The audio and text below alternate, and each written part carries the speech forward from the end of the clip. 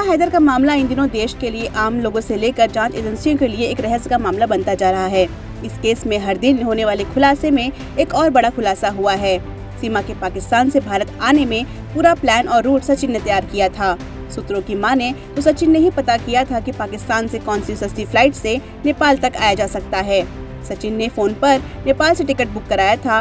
Ticket book कराते समय उसने कहा था कि उसकी पत्नी और बच्चे आ रहे हैं। बता दें सूत्रों के अनुसार सचिन ने मार्च में ही प्लान तैयार कर लिया था जब वह नेपाल सीमा से मिलने गया था। नेपाल से सीमा को भारत के अंदर किस रास्ते लाया जाए, ताकि वो दस्तावेजों की जाँच से बच पाए, इसकी पूरी प्लानिंग भी सचिन ने की थी। तो क्या इसका मतलब ये है कि जाँच के घेरे में सीमा से ज़्यादा सचिन को होना चाहिए? बहरहाल, जाँच एजेंसियाँ इस मामले पर अपनी नज़र बनाए हुए हैं। वहीं पबजी वाले इस प्यार के मामले में हर दिन नए खुलासे और सवालों ने इसे और पेचीदा बना दिया है। वहीं केंद्रीय और राज्य की एजेंसियाँ सीमा और सचिन के आसपास होने वाली हर गतिविधि पर नज़र बनाए हुए हैं और पूछताछ का सिलसिला भी जारी है।